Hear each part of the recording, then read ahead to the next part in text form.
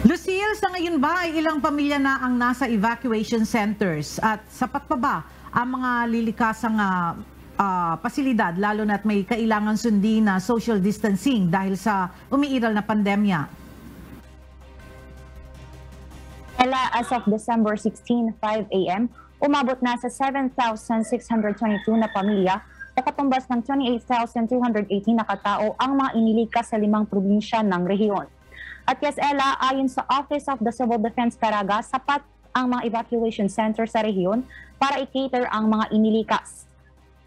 Sa pakikipag-usap natin kay Ronald Anthony Briol, Information Officer ng OCD Caraga, may camp evacuation managers ang mga pasilidad na tumitiyak na nasusunod ang health protocols. Nakahanda na rin ang mga relief packs na ipamamahagi sa mga maapektuhan ng bagyo. sa Office of Civil Defense po, Caraga, ay starting po noong ano, lunes pa po, uh, nakapreposition po tayo ng around 600 blankets, 100 family packs, 1,000 hygiene kits, and 200 shelter repair kits po. Bound po yun for Dinagat Island and Siargao Island po. Ah, sa DSWD naman po, nakapreposition na rin po sila ng around 16,272 na family food packs.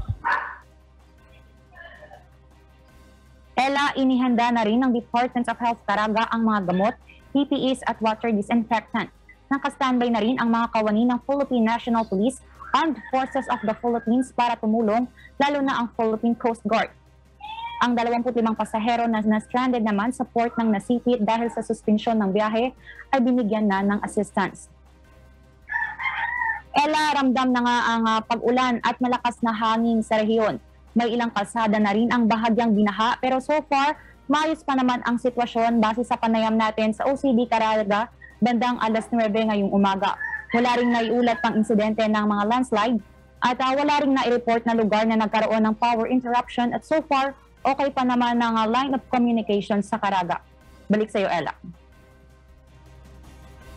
Lucille, yung mga in, ah, inilikas sa mga evacuation centers, sila ba ay ah, fully vaccinated na? Ella, sa ngayon wala tayong ah, datos ano kung ilan yung mga fully vaccinated, partially vaccinated or unvaccinated or ah, unvaccinated Ella. At yan yung ah, subukan nating kunin yung ah, datos mula sa OCD-11 kung uh, kaunay nga dyan sa tanong mo. At ah, ayon naman sa Office of the Civil Defense 11 ay ah, sapat naman yung ah, mga evacuation centers ah, para dito sa mahigit 7,000 evacuees at ah, yun nga, Ella, ano, sinisiguro ng ah, mga lokal na pamahalaan na nagsusunod yung ah, health protocols. May mga, yun nga tinatawag na camp or camp evacuation managers para masiguro na yung social distancing, yung pagsusuot ng face mask ay ah, nasusunod ng mga inilikas ng mga residente. Ella. Alright, maraming salamat Lucille Yoren live na nag-uulat mula sa Tagum City.